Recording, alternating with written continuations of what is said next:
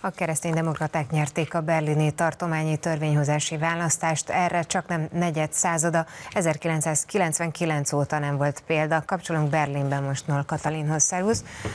Milyen eredmények születtek, és ebből mire lehet következtetni?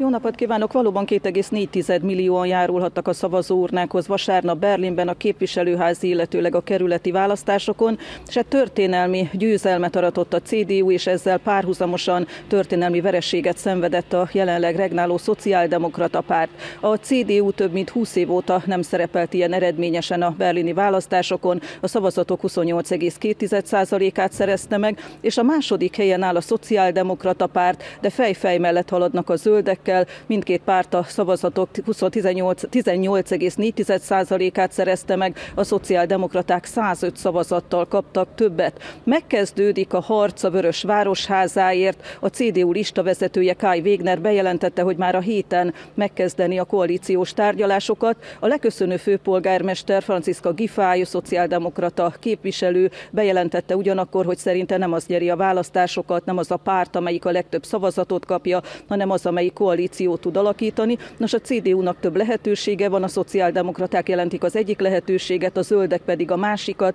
CDU, illetőleg CDU-zöldek kormányra van már példa Németországban, Schleswig-Holstein tartományban. A választási eredmény ugyanakkor egyértelműen azt mutatja, hogy a berliniek, illetőleg a németek változást szeretnének, és ennek nem csak az az oka itt Berlinben, hogy például a szilveszteri zavargások, petárdázások következtében nagyon nagy anyagi kár keletkezett, sokan megsérültek, hanem az okok között szerepel az is, hogy nagyon sokan nem értenek egyet azzal, hogy Németország fegyvereket szállít Ukrajnának, és az Oroszországgal szembeni szankciókkal sem értenek egyet, azt is ellenzi a németek jelentős része.